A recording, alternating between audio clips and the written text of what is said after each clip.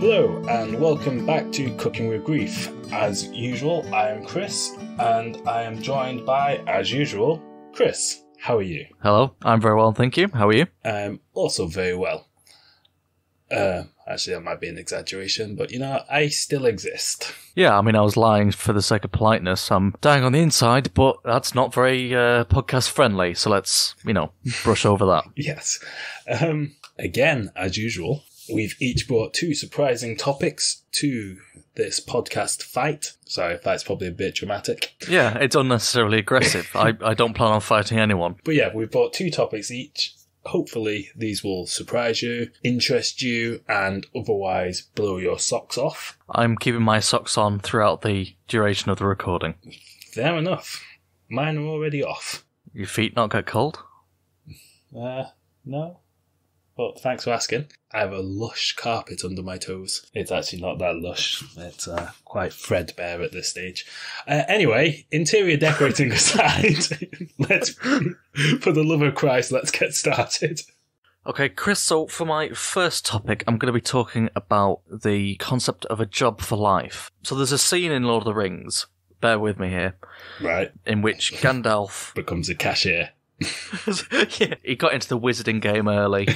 you know, his his dad was a wizard, so it's sort of you know in the family tradition. His father before him, sort of thing. And he thought, you know, I need need a break. I've got real wizarding skills, but how does that apply to a modern marketplace? And it turns out he can bag groceries, but with a flourish. No, so there's a scene in, in Lord of the Rings. Uh, I don't know if you remember it, where he's trapped on top of a tower and he he summons like a moth or something, and like oh, yeah, that bit was always like, really it- weird. He like whispers to it and then it buggers off like to get the eagle so they can come and pick him up Yes. which doesn't seem like the most reliable way of delivering a message like You say that, yet it worked. it did work i'm not questioning like the end result i'm just saying like a moth wouldn't be my go-to and i've not seen the extended cuts but maybe there were a series of scenes in which he tried different animals first and watched a crow get shot down by an arrow and he thought right i need something a bit more sneaky than a, a crow i'll go moth Well, of course, Um, the crows all worked for Saruman, but uh, You're right. Uh, What a silly point for me to have made. Thank you for bringing some logic to this. Well, you're lucky I didn't correct you when you, you started talking about Gandalf's father as if he wasn't one of the Maiar and therefore essentially immortal. Right. So Anyway. yeah, but but in in the context of the Tolkien world, his dad was a wizard. He might not have been one of the uh, you know like the Wizarding Council or whatever it was. He he wasn't like in the union for the wizards. Was he in the magic circle? It, it could have been. All right. Anyway, right. So Sorry, I'm so confused right now.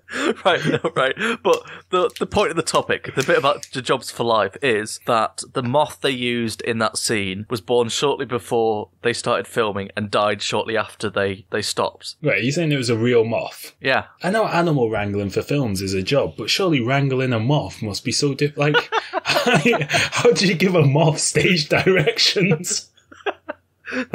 yeah. The moth's going, "What's my motivation?" And and your Peter Jackson going, "You're a fucking moth, mate." Like how do you get the moth to fly over to Gandalf? How do you make sure that the moth doesn't just fly immediately off into the nearest light source? He's like, for fuck's sake. They they used a CG moth for the bit where it's actually flying, but the bit where he's holding it in his hands, Oh, maybe okay. they they used a real moth. Anyway, the point is the totality of that life's moth was No, that Uh, moth's life. Yes, sorry. um, I just think then and going, what? Anyway, um, that that li- that moth's life was entirely based around that scene, which Yeah. means that it holds the record for the largest percentage of its life performing a single role, and in essence had one job for life. Oh, what a segue. That was a five and a half minute segue. It was a long walk. Because I, cause I, I read that fact and thought it was interesting, but I didn't think it stood up enough on its own. So I thought if I introduce it and we have a brief di- discussion about the nature of having a job for life, then I can no. justify. You are a Um, podcasting pro. I mean, apart from the fact that we don't make a single penny from this yet. Yet, and that is a big yet, like three quarters of the abominable snowman. Also correct. Obviously, this moth pretty much does own the record for most highest percentage of its life devoted to a single role. It's either them or the actors in Coronation Street. Oh, that's what I was gonna say. I wonder who's number two. Because, like, yeah, like some what is it? Like the guys who play like oh, watch enough soaps, but like yeah, they've run for like every day for years. Well, because that's the thing. Because obviously, TV work, you know, even the longest running shows tend to be only be a decade or so. Yes, I'm guessing soaps are they. You know, there are characters who who've been there for Yeah, uh, decades. yeah. you know, they no, might have, have time on and off, but I'm I'm I'm, I'm guessing something like Coronation Street or um, EastEnders. Yeah, it's Corrie- Corrie's been going since the sixties, and I'm sure it had somebody who was there from like um, like either the start or near the start, right the way through till only a few years ago. For, Um, for international listeners who, who, who might not be aware of Coronation Street, it's it's a it's a daily soap based on a fictional street in Manchester where people shout at each other and drink in a pub. yes, and then there's also EastEnders, which is the uh, sort of knockoff Sou- version of that, version. which is possibly eclipsed in popularity. Not sure. Which is essentially the same, only they're all Cockney and from London, but also shout at each other and drink in a pub. Yeah, And that is probably the extent of their differences. and that is the quintessential British culture summarised. You know what millions of people watch every day as a reflection of their own lives. Mm-hmm. Okay, so I'm going to take us to one of our favourite places. Last week we spent an inordinate amount of time in ancient Greece, whereas today I'd like to take us to our other favourite hangout, which is China. Uh, I'd like to take you specifically to a city called Chengdu. Don't know if you're familiar with that. I certainly wasn't until I read the article. I've I've been there. Oh, have you been there? Uh, did you go at night time? Well, I was there for days, like several days. So yes. so, so you were there during the night in between, presumably. Yeah, I, I didn't go purely for the days and then take a train out to somewhere else, only to return for the following days. Just out of interest, then, since you've got some first-hand experience, how dark was it at night? At, at the time, it was a normal night sky. You know, China being China, obviously there's a fair amount of pollution, so not a whole lot of stars, to be honest. Yeah, fair enough, because uh, they've decided that that's not enough, and they're going to make a artificial moon to illuminate it at night. As you do. I mean, sometimes I look at the moon and say, you know what, you're not enough. It's not enough. But yeah, so just I was just thinking about how insane this plan is to make an artificial moon. It says it's going to be eight times as bright as the moon, and the idea is it will precisely illuminate a range of 10 to 80 kilometers in diameter. So essentially the whole city, and to replace streetlights. But it doesn't exactly say how it's going to work. It's some talk about it being a mirror rather than just a shitload of light bulbs, which would make sense to reflect the sun's light. But I was thinking about basically, if it's going to be so precise to only illuminate a city, it will have to be obscenely high. So, quick physics lesson. Basically, where a satellite is, like how often a satellite rotates around the Earth, is basically determined by how high above the Earth it is. And if you want something to stay in place, like a you know, keep it over a city, it has to be 36,000 kilometers away from the Earth. And in comparison, the International Space uh, Station is about 400 kilometers. So if you're going to stick something 36,000 kilometers away, like a mirror, that has got to be one fucking big mirror. So I, it turns out I've I've misunderstood the story. I I didn't. I thought it wasn't going to be as high as that. That it was going to be over the city, but you know, attached from the ground. No, it's going to be a satellite. Oh, that seems much harder. Well, that has been done. Oh, right. In uh, Italy somewhere, there was a um, town where in winter, so it's in the mountains, I think the Alps, there's a village which is in a valley. And in winter, when the sun's low, basically for the sun just doesn't go over the mountains and the village is in dark, which is a strange place to build the village, but anyway. So what they did is they put a mirror on the other side. When the sun's low in the sky, it still hits this mirror on the other side of the valley, or wherever it is, and directs it straight into the town. And I've just seen as well in a Norwegian town as well, they put uh, free computer controlled mirrors to track the movement of the sun, reflect it into the town square. Very important to get the difference between a mirror and a magnifying glass. Yes. Well, you would not want to burn everybody like ants. I mean, the, the thing we're trying to do in this with the the supermoon is, if there was any country on the face of this planet in this year to pull it off, my money would be on China. Yeah. They're quite good at doing stuff. As in, like when they say we're going to do something. Slow like- down, Professor. you know, but you know what I mean. Like, like a lot of countries, especially like I suppose it's one of those uh, drawbacks, but also kind of a benefit of democracies. Is that stuff's slow moving because somebody's points out the flaws or argues against it. Whereas when you have essentially a dictatorship, you say we're going to build a fucking giant moon mirror. People are going to go build a fucking giant moon mirror. Like, there's no questions asked. There's just fuck it. I guess we have to. Or it's like let's build some islands in the middle of the sea. Okay, Yeah, done. Fine, great. Right. So this supposed moon, not supposed moon, this planned moon.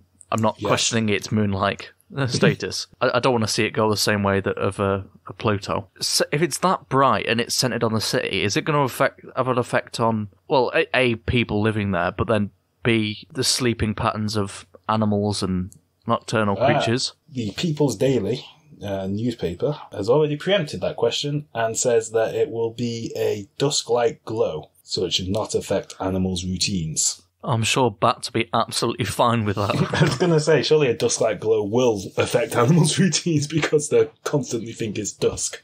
from my experience of living in Beijing, you're for about half the year you live in a sort of dusk-like day glow anyway. So, Fair enough. but that's just through the the smog and pollution. Apparently, they did try to do an experiment. Russians tried to do an experiment just to see if uh, you could send a satellite to reflect the sun's light onto the night hemisphere. Uh, not a permanent test. And they actually did manage to do it, uh, very briefly. Then they decided to uh, try and do a better one, you know, a more permanent one, and it exploded on launch. And that was the end of that. when you see your life's work go up in a huge fireball, you just sort of give up. I don't know. I've, I've read our reviews. hey, we've actually got some very positive reviews, and uh, if anybody's listening to this, please leave us some more positive reviews. Please, we're desperate. You know, it's important not to come across as needy, it, especially when we are very needy. Yeah, that's fair. Uh, yeah, don't give us any reviews. Yeah, do what you want. Yeah, we don't even, we don't even care. He says, caring deeply. okay, so from one giant light in the sky to perhaps another, depending on your religious beliefs. Chris, if I asked you to describe Jesus, what would you say? Bearded dude, wore sandals, walked around a fair bit. I, I'm no, you know, religious scholar, but that seems broadly fine. And what you've described is way more physical description of JC than we ever get in the Bible. Well, in Luke 252, we get, and Jesus grew in wisdom and stature and in favour with God and man. So we can assume at some point he's taller than a baby, having been a baby for a bit. Well, did you, Sir Sherlock Holmes? And you know, later when he's doing all his magic tricks, there's bits where he's going into temples and shit. So he's pro- like at his biggest, he can crouch and get through a temple door. So we know we can we can deduce that he is somewhere between bigger than a baby and smaller than a temple. Anything else? Maybe in the, in the fine print in some of the uh, the spin-offs or whatever. But Yeah. that's that's basically it. Well, I think one other thing, I hope I don't jump the gun here, but I think we can assume that he's at least fairly nondescript because, you know, when Judas betrays him, uh, spoilers, and he goes and he says to the Romans, like, I'll kiss Jesus on the cheek. That's the one you want to arrest. The fact that he had to kiss him on the cheek than saying it is the guy who's slightly smaller than a temple. that would have been like the giveaway. Just let's just get that guy. Yeah, but how will we know who he is? He he's the giant who hangs out in the doorway. I'm gonna. I'll get a ladder and I'll climb up to his cheek. Also, that suggests that we know that he has cheeks. Oh, that too. It doesn't specify which cheeks. We assume the face. Maybe in the Hebrew, it it says more. I'm gonna go get, smooch him on the arse.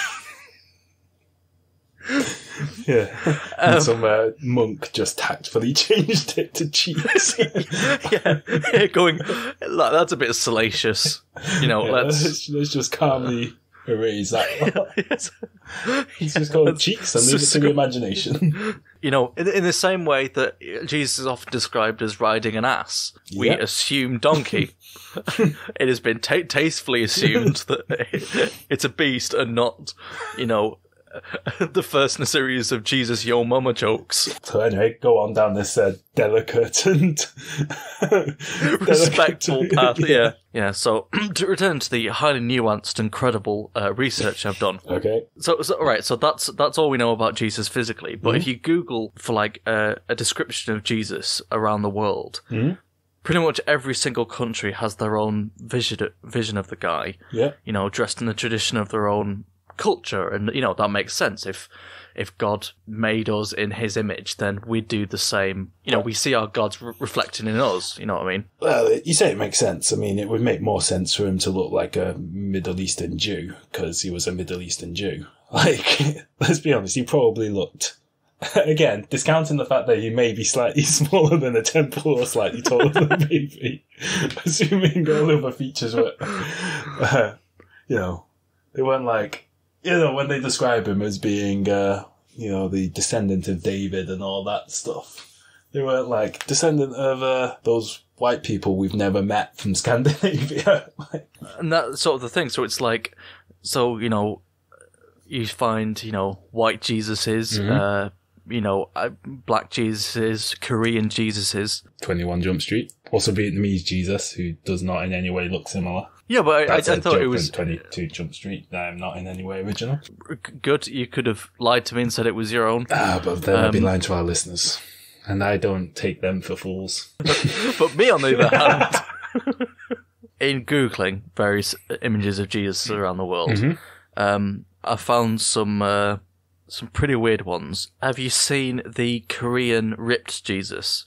No. in Yongchun in in uh, South Korea, there's a Christian sculpture park, Mm-hmm. and he's he's on the uh, crucifix, but he looks more like he's doing butterfly curls because he's absolutely ripped. He's like he's like a twelve pack, massive like you know vascular lats.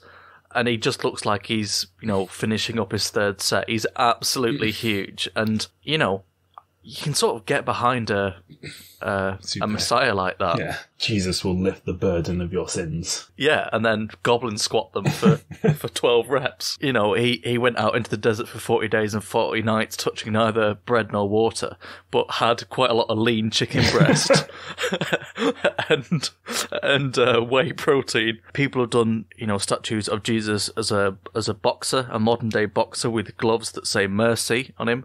That's and again, a weird, weird way of looking at things. Punch you with love. turns the other cheek with a left hook.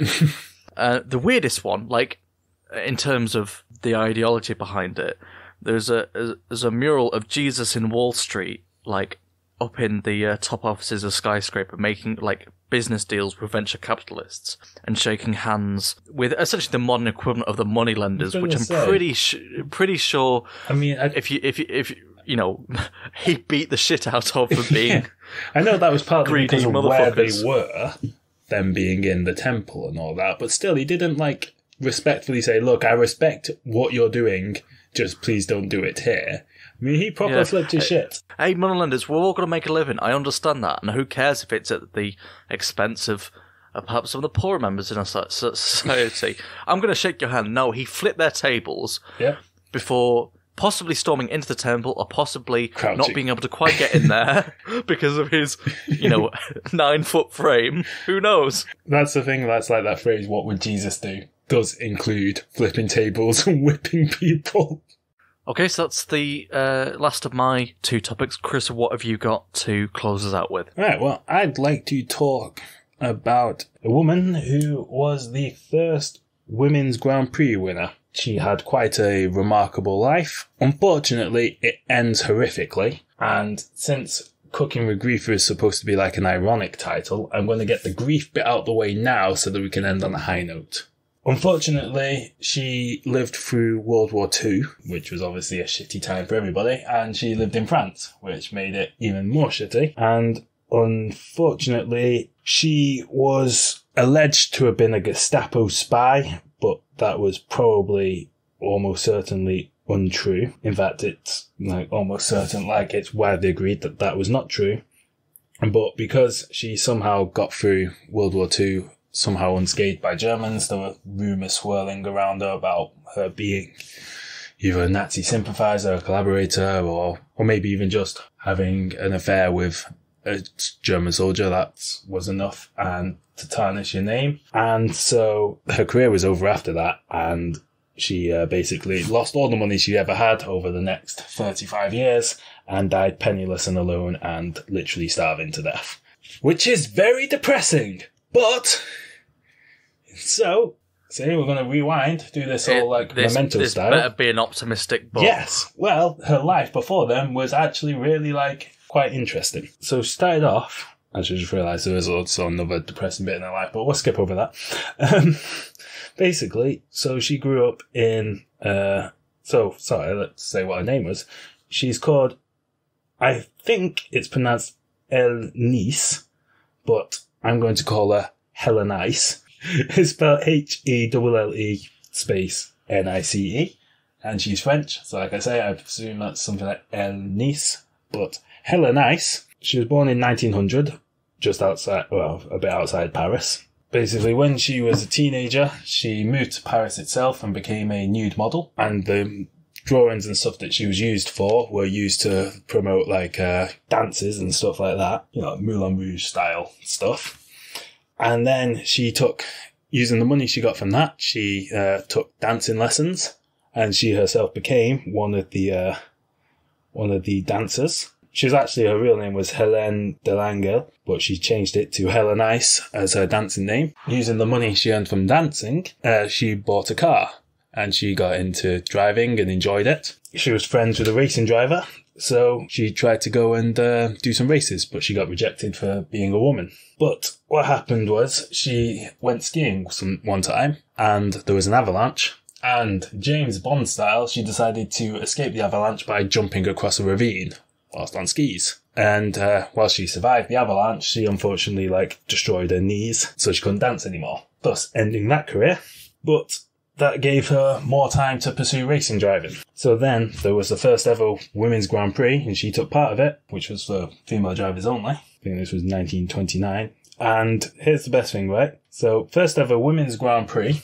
The night before, and I quote, she indulged in a long night of champagne, morphine, and sex. And then she went on to win the race. Which, as weekends go, I mean, if you can say your weekend involved champagne, morphine, sex, and winning a race, like, you've had a good weekend. Yeah, that is something to talk about in the office on Monday morning. Know, somebody says, "How was your weekend?" It's like, well, you know, I won a won a Grand Prix, uh, had morphine, lots of champagne and sex. It's like, oh, so you won the Grand Prix and then you celebrated with the morphine and the champagne and sex. It's like, oh no, no, no, no, Like, that was my that was my warm up.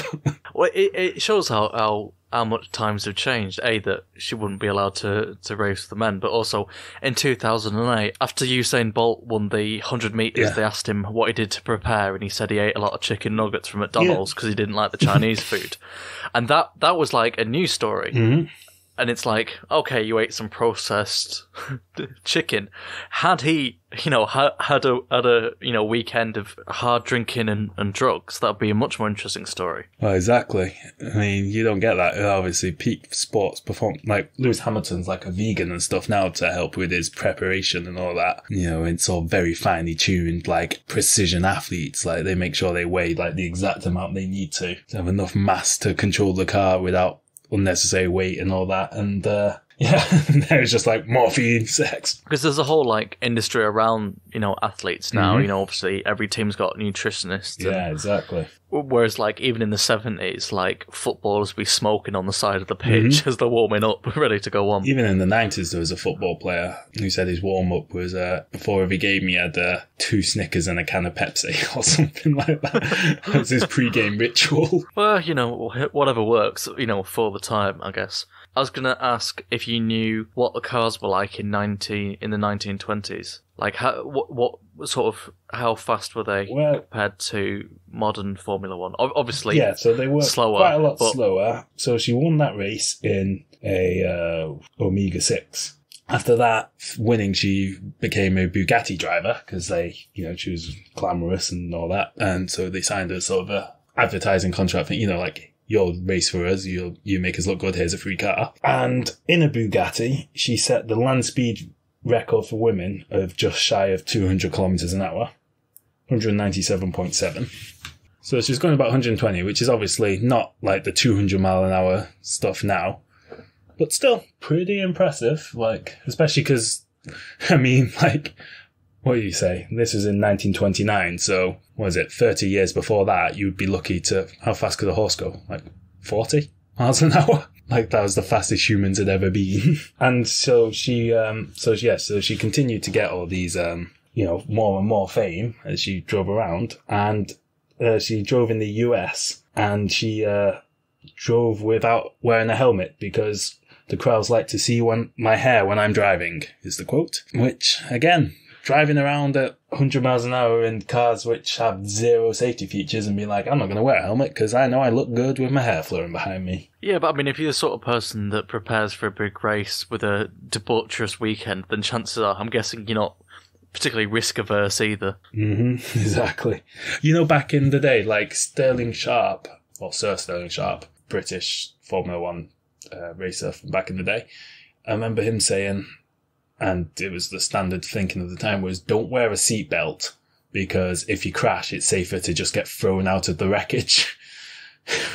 which is a remarkable like overestimation about how strong the human body is. Your your flesh is soft; it will it will cushion your landing. Well, it's because they were also terrified of being caught in a fire because the cars used to be I don't know like these particular cars she was driving, but they uh, experimented at one point they started making cars out of magnesium because it's really light. Just unfortunately, it's incredibly flammable. Like the smallest thing yeah. goes wrong, and it just the whole thing goes up.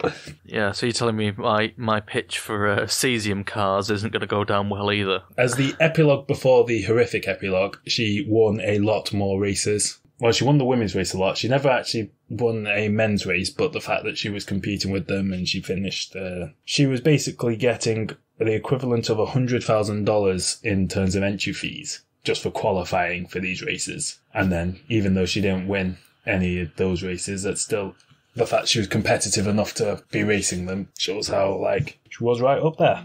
Yeah, that's all we've got time for this week. So I think on that note, I will bid thee farewell. And I will join him in his bidding of the farewell with a similar goodbye and thank you for listening, and hope to uh, have you listen again next time. Yes, exactly. Ciao. Uh, goodbye. It's nice to say goodbye. Depending on the person, obviously, sometimes it's heartbreaking, sometimes it's, you know, really traumatic. Yes, in this case, it is merely a farewell. it's blessed relief. Thank you for listening to this episode of Cooking with Grief. If you enjoyed it, please make sure to recommend it to a friend. If you'd like to get in touch with us, you can email cookingwithgrief at gmail.com or follow us on Twitter. That's at cookingwithgrief. If you'd like to hear more episodes, then please subscribe wherever you listen to your podcasts. And if you've got the time, then it'd be great if you could leave us a review on iTunes. Thank you.